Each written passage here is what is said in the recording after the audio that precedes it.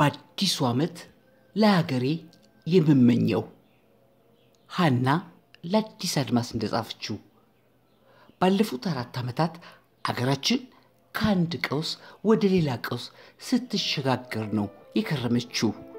በዚህ ሂደትም ብዙ ሺዎች ተገድለዋል፣ ለአካል ጉዳት ተዳርገዋል፣ ከመኖሪያቸው ተፈናቅለዋል፣ ሀብት ንብረታቸውን አጥተዋል፣ የሰብአዊ ድጋፍ ጠባቂ ሆነዋል። ከዚህም ባሻገር በብዙ ቢሊዮን ብሮች የሚገመቱ መሠረተ ልማቶችም ወድመዋል።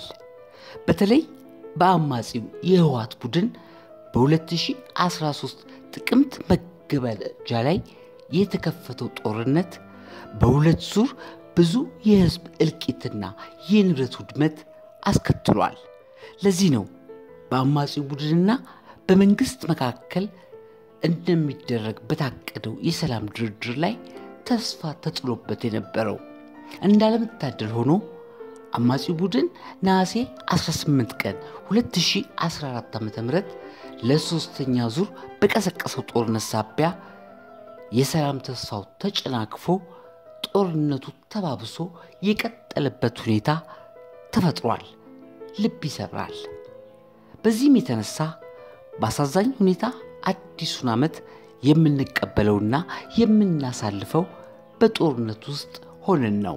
ከዚህ አንጻር ዘንድሮን ጨምሮ ላለፉት አራት ዓመታት ገደማ በመከራና በሰቆቃ ውስጥ ለዘለቀው ኢትዮጵያዊ ወገኔና ፈተና ላልተለያት ውዲቷ ሀገሬ በአዲሱ ዓመት የምመኘውንና ተስፋ ማድርገውን በዚች ጋዜጣ በኩል ልገልጽ እወዳለሁ።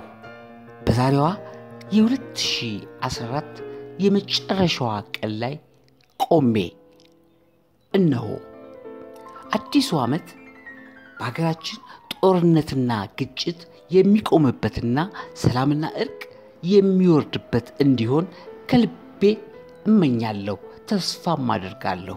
አዲሱ ዓመት ኢትዮጵያውያን የሚገፋፉበትና የሚቃቃሩበት ሳይሆን የሚተሳሰቡበትና የሚተባበሩበት እንዲሆን እመኛለሁ፣ ተስፋም አደርጋለሁ። አዲሱ ዓመት የተበደሉ የሚካሱበት፣ ያዘኑ እንባቸው የሚታበስበት የፍትሕና ርትዕ ዘመን እንዲሆን እመኛለሁ፣ ተስፋም አደርጋለሁ። አዲሱ ዓመት ለሰው ልጅ ሕይወት ዋጋ የምንሰጥበት ነፃነትና ዲሞክራሲ የሚስፋፋበት ዘመን እንዲሆን እመኛለሁ፣ ተስፋም አደርጋለሁ። አዲሱ ዓመት የፖለቲካ ልዩነቶቻችንን እና አለመግባባቶቻችንን በምክክርና በውይይት መፍታት የምንጀምርበት ይሆን ዘንድ እመኛለሁ፣ ተስፋም አደርጋለሁ።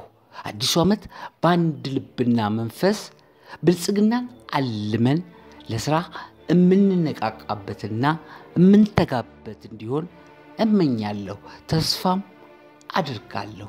አዲሱ ዓመት መንግሥት ሙሉ ጆሮውንና ልቡን ለሕዝቡ ሰጥቶ በቅንነት የሚያገለግልበት ዘመን እንዲሆን እመኛለሁ፣ ተስፋም አድርጋለሁ። እርግጥ ነው እነዚህ ሁሉ በጎ ምኞቶችና ተስፋዎች በተአምር ብቻ እውን አይሆኑም። ከሁሉም በፊት ጥልቅ መሻትን ይጠይቃሉ። ከዚያም በትጋት መስራትን። እኔ ደግሞ የኢትዮጵያ አምላክ ከኢትዮጵያውያን ጎን እንደሚቆምና መልካሙን ሁሉ እንደሚያደርግልን በጽናት አምናለሁ። ለዚያም ደግሞ ከልቤ እጸልያለሁ። እናንተም እንደምትጸልዩ አልጠራጠርም። ፈጣሪ ኢትዮጵያንና ሕዝቦቿን ይባርክ።